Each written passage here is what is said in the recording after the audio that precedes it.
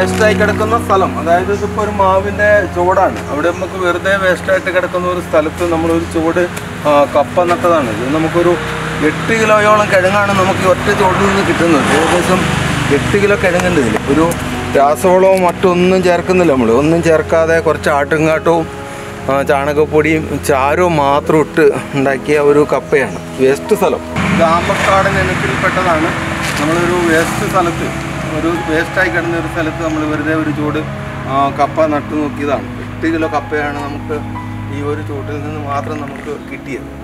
ഞാനിപ്പോൾ നിൽക്കുന്നത് നമ്മുടെ വർഗീസേട്ടന്റെ കപ്പയുടെ ചുവട്ടിലാണ് ഇത് കേരളം മുഴുവൻ വൈറലായൊരു സംഭവമാണ്.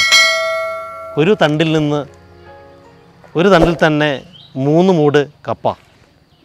നമുക്കറിയാം നമ്മളൊരു തണ്ടിൽ നിന്ന് ഒരു മൂട് കപ്പയാണ് ഉണ്ടാക്കാറുള്ളത്. എന്നാൽ മൂന്ന് മൂട് കപ്പയാണ് ഉണ്ടാക്കുന്നത്. കാരണം നമുക്ക് കുറഞ്ഞ സ്ഥലത്ത് തന്നെ മണ്ണില്ലാതെ മണ്ണിന്റെ മുകളിൽ തന്നെ തട്ട് തട്ടായിട്ട് കപ്പ കൃഷി ചെയ്യാം. ഈ കപ്പയുടെ വിവരങ്ങളാണ് ഇന്ന് കൃഷിദീപം നിങ്ങളെ പരിചയപ്പെടുത്തുന്നത്. ചെറിയ സ്ഥലമുണ്ടെങ്കിൽ നമുക്ക് നില തട്ടായിട്ട് തന്നെ നമുക്ക് മൂന്ന് നില നാല് നിലയിലൊക്കെ നമുക്ക് കൃഷി ചെയ്യാം.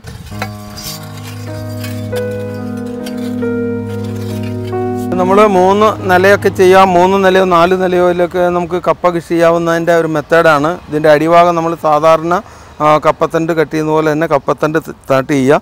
ഇതിപ്പോൾ നമ്മൾ കപ്പ നടാൻ സാധാരണ കൂട്ടുന്ന പോലെ ഒരു മൺകൂനിയാണ്. അതിന്റെ ഉള്ളിൽ നമ്മൾ നിറച്ചിരിക്കുന്നത് ആട്ടുംകാട്ടം ചാരം അതുപോലെ കുറച്ച് ചാണകപ്പൊടി. അതാണ് അതിൽ നിറച്ചിരിക്കുന്നത്. അതിനുശേഷം നമ്മൾ സാധാരണ എങ്ങനെയാണോ നമ്മൾ കപ്പ നടുന്നത് അതുപോലെ തന്നെ ഇതുപോലെ ചൂട്ടിൽ ഇതുപോലെ നട്ട് നട്ടു കൊടുക്കുക ഒരു രണ്ട് മൂന്ന് ഇഞ്ച് താണാൽ മതി. ഇതാ നമ്മൾ സാധാരണ കപ്പ നടും പോലെ ചൂട് ഭാഗം നട്ട് കഴിഞ്ഞു രണ്ടാം നിലയ്ക്കുള്ള സെറ്റപ്പാണ് ഇനി ചെയ്യേണ്ടത്. അതിന് നമുക്ക് ഒരു സ്റ്റാൻഡ് ഉണ്ടാക്കുക എന്നുള്ളതാണ്. ഇതുപോലെ ഒരു സ്റ്റാൻഡ് ഉണ്ടാക്കി കൊടുക്കുക.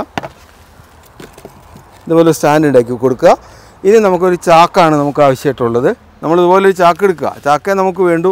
ആ കപ്പത്തണ്ട് കിടക്കാൻ മാത്രത്തിന് താഴെ നമ്മൾ റൗണ്ടിൽ ഒരു ചെറിയ തുളയിട്ട് കൊടുക്കുക. ഇതുപോലെ ഒരു തുളയിട്ട് കൊടുക്കുക. അതിന് ശേഷം നമ്മൾ ആ ചാക്ക് നേരെ ഈ മുകളിൽ കൂടി ഇറക്കുക. ഇതാ ഇതുപോലെയാണ് നമ്മൾ ഈ ചാക്ക് ഇതിന്റെ അകത്തോടെ ഇറക്കുക. അതാ ഈ തുള ഈ കമ്പ് ഇതിന്റെ ഉള്ളിൽ വരാൻ പാകത്തിന് ഇറക്കുക. ഇതാ ഇതുപോലെ ഇതാ ഇങ്ങനെ ഇറക്കി കൊണ്ടുവരിക ഇതാ ചാക്ക്. ഫ്രീ ആയിട്ട് ഇങ്ങനെ ഇറങ്ങിപ്പോരും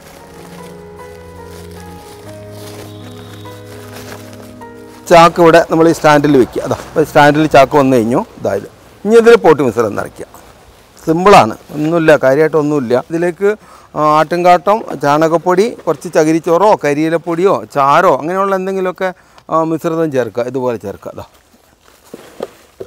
എന്ത് കമ്പൗണ്ടിന്റെ ആണെങ്കിലും നമുക്ക് അതിന്റെ അകത്ത് കയറ്റാം.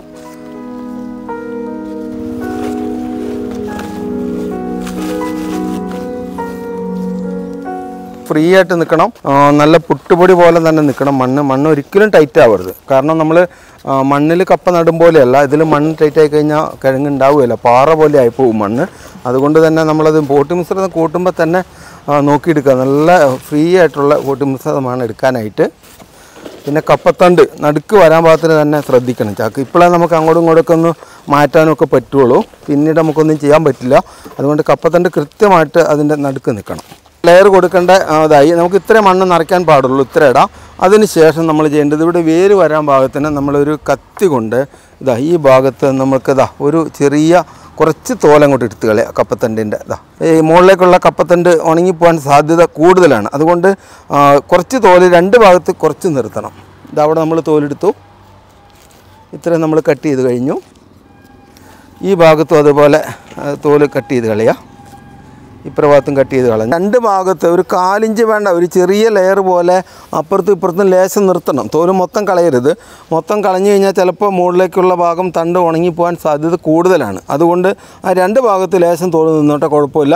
ഇവിടെ നിന്ന് നമുക്ക് പുതിയ കിഴങ്ങുകൾ വരും. ഇത്രയും ചെയ്ത് കഴിഞ്ഞാൽ പിന്നെ നമുക്ക് ചെയ്യേണ്ടത് ഈ അടിഭാഗത്ത് നമ്മൾ കട്ട് ചെയ്ത ഭാഗത്ത് നിന്ന് അടിയിലേക്ക് വെള്ളം ഇറങ്ങിപ്പോയാലും ഫംഗസ് രോഗം വരാനും സാധ്യത കൂടുതലാണ്. അതുകൊണ്ട് ഈ ഭാഗത്ത് നിന്ന് ചീച്ചൽ രോഗം സംഭവിക്കാൻ സാധ്യത കൂടുതലാണ്. നിർത്തുന്നത് ഇത് രണ്ട് ഭാഗം നമ്മൾ ലേശം നിർത്തുന്നു. മുകളിലേക്കുള്ള തൊണ്ട ഉണങ്ങിപ്പായിരിക്കാൻ വേണ്ടിയിട്ട്. നമുക്കിതിൽ നിന്ന് ഇതിലേക്ക് കിഴങ്ങ് വരേണ്ടത് മുകളിലെ ഭാഗത്ത് നിന്നാണ്. പിന്നെ മറ്റൊരു ദോഷം വരാനുള്ളത് ഇതിന്റെ അടിഭാഗം നമ്മൾ ആ തോലെടുത്ത് കളഞ്ഞ ഭാഗത്ത് നിന്ന് വെള്ളം ഇറങ്ങി താഴോട്ട് ചീച്ചിൽ വരാനും ഫംഗസ് രോഗം വരാനും സാധ്യത വളരെ കൂടുതലാണ്. അതുകൊണ്ട് നമ്മൾ അടിഭാഗത്തേക്ക് ഒരു ഇൻസുലേഷൻ ടേപ്പ് നമ്മൾ ചുറ്റി കൊടുക്കണം. അതായത് ഇതുപോലെ. വെള്ളം ഇറങ്ങാതിരിക്കാൻ വേണ്ടി മാത്രം മുകളിലേക്ക് ഇൻസുലേഷൻ ടേപ്പ് കയറി വരാനായിട്ട് പാടില്ല. അടിഭാഗത്ത് മാത്രമായിട്ട് എന്തെങ്കിലും ഒരു ഇൻസുലേഷൻ ടേപ്പ് മതി. സെല്ലോ ടോപ്പാണ് ഇതിപ്പോൾ ഞാൻ ചിറ്റ് ചെയ്ത് അതാ മതി. ഇങ്ങനെ അങ്ങ് അടിയിലേക്ക് അങ്ങനെ ഫംഗസ് രോഗം ഒന്നും വരികയല്ല. ഇനി നമുക്ക് ചെയ്യേണ്ടത് ഇത് ബാക്കി നമ്മൾ ഫില്ല് ചെയ്യാം. ഇനി നമുക്ക് വരേണ്ടത് വേറെ ഒന്നുമില്ല. ഇനി ഇത് നിറച്ചാൽ മതി. കാരണം ഇതിന്റെ ഈ മുകൾ ഭാഗത്ത് നിന്നാണ് കിഴങ്ങുകൾ ഇനിയും വരിക. ഇപ്പം നമ്മൾ വീണ്ടും പോട്ടി മിശ്രിതം നിറയ്ക്കുകയാണ്. ഇപ്പം നമ്മൾ ഒരു നല്ല കപ്പ നട്ട് കഴിഞ്ഞു. ഇനിയിപ്പോൾ നമ്മൾ ആ കട്ട് ചെയ്ത ഭാഗത്തു നിന്ന് കിഴങ്ങ് ഇറങ്ങുന്നുള്ള കാര്യം ഉറപ്പാണ്. ഇനി നമുക്ക് ഇത്രയും ഫ്രീ ആയി. ഇനി നമുക്കൊന്നും ചെയ്യേണ്ടതില്ല.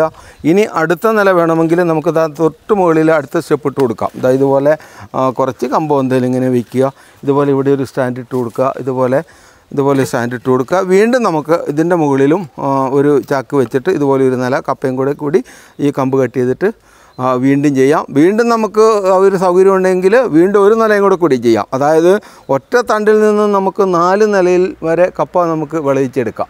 നാല് നില. ഏറ്റവും അടിയിൽ നല്ല വിളവുണ്ടാവും. അതിന്റെ മുകളിൽ കുറച്ച് കുറവായിരിക്കും. എന്നാലും എല്ലാത്തിലും കിഴങ്ങുണ്ടാവും. ഒരു വെറൈറ്റി ആയിട്ടൊരു കൃഷിയാണ്. നമുക്ക് ചെറിയ സ്ഥലം മതി. കൂടുതൽ കൃഷി ചെയ്ത് നമുക്ക് എടുക്കാനായിട്ട് സാധിക്കും. പ്രത്യേകിച്ച് ഒരു സ്ഥലം വേണ്ട. നമ്മൾ വേസ്റ്റാക്കി ഇട്ടേക്കുന്ന സ്ഥലം മാത്രം മതി.